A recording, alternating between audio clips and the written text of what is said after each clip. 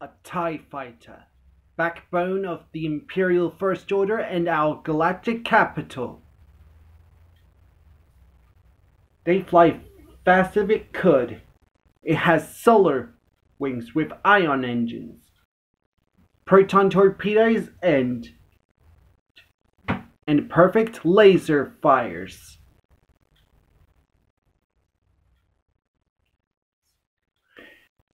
Let's see this TIE fighter can take flight against the new Sith Empire's TIE slicers.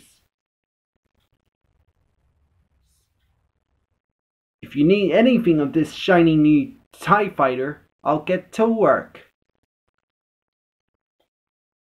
But this TIE fighter does not have the astromech droid.